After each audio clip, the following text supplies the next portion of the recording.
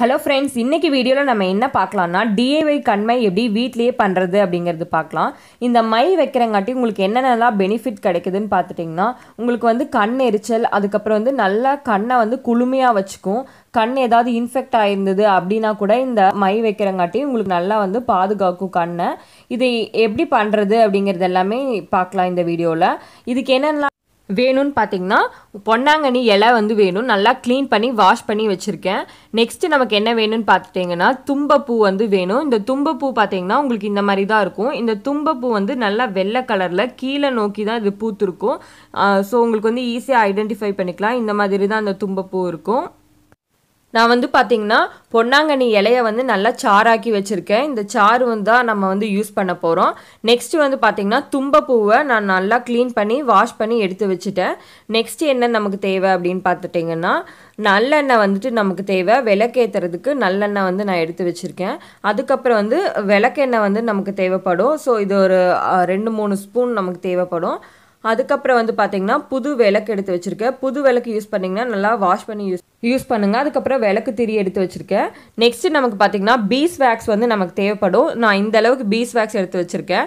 நான் இந்த மை பார்த்துட்டிங்கன்னா பீஸ் வேக்ஸ் யூஸ் பண்ணி எப்படி வந்துட்டு இந்த மை வருது அதுக்கப்புறம் யூஸ் பண்ணாமல் எப்படி வந்து வைக்கலாம் அப்படிங்கிறது ரெண்டு விதமாக நான் பண்ண போகிறேன் நம்ம எப்படி பண்ணுறது அப்படிங்கிறது பார்க்கலாம் வாங்க. ஃபஸ்ட்டு வந்து பார்த்திங்கன்னா நான் பொன்னாங்கண்ணி இலைச்சாறு வந்து யூ யூஸ் பண்ணுறேன் இந்த பொன்னாங்கண்ணி இலை வந்து பார்த்துட்டிங்கன்னா உங்களுக்கு நல்லா நேச்சுரல் கூலண்ட்டு உங்களுக்கு கண்ணை நல்லா குளுமையாக வச்சுக்கும்.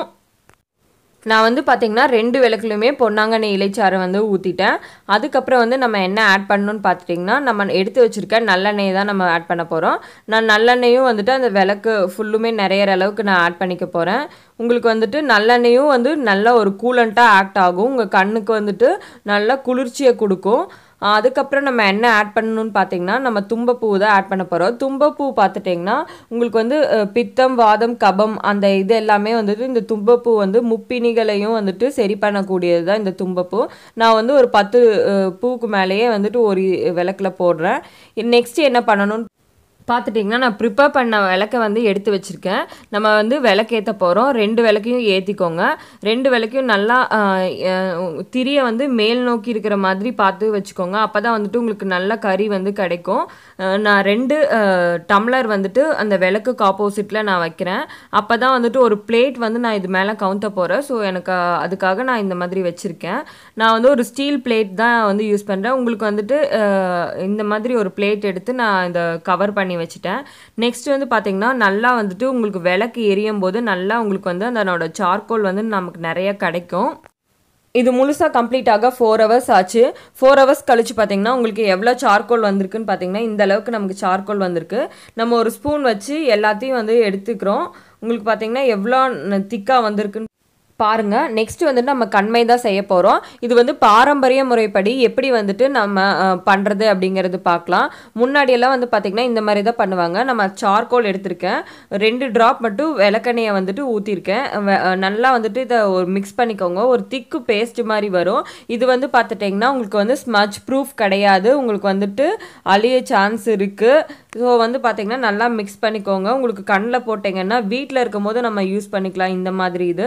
அதுக்கப்புறம் குழந்தைங்களுக்கு வந்து யூஸ் பண்ணுறது மாதிரி இருந்ததுன்னா நம்ம பவுடர் வந்துட்டு இந்த மை வச்சுட்டு பவுடர் அப்ளை பண்ணிட்டா அழியாமல் இருக்கும். ஸோ இந்த இது தான் பாரம்பரிய முறைப்படி நம்ம பண்ணுறது நெக்ஸ்ட்டு எப்படி பண்ணுறது அப்படிங்கிறது பார்க்கலாம் வாங்க. நான் வந்து பார்த்திங்கன்னா நான் எடுத்து வச்ச அளவு பீஸ் வேக்ஸை வந்துட்டு ஒரு டபுள் பாயிலிங் மெத்தடில் தான் வந்துட்டு நான் வந்து ஹீட் பண்ணியிருக்கேன் உங்களுக்கு நல்லா வந்து அந்த வேக்ஸ் எல்லாம் உருகுது பாருங்கள் நல்லா உருகி உருகிருச்சு இந்த மாதிரி கன்சிஸ்டன்சி ஆகணும். இந்த மாதிரி பதத்தில் வந்து நம்ம பார்த்துட்டிங்கன்னா நெக்ஸ்ட் வந்து பார்த்துட்டிங்கன்னா நான் ரெண்டு ஸ்பூன் வந்து சார்கோல் பவுடர் வந்து ஆட் பண்ண போகிறேன் ஆட் பண்ணிவிட்டு நல்லா மிக்ஸ் பண்ணிக்கோங்க. நல்லா ஒரு திக் பேஸ்ட் மாதிரி வரும். ஸோ அந்த மாதிரி வந்த பிறகு நம்ம என்ன ஆட் பண்ணணும் அப்படிங்கிறது பார்க்கலாம்.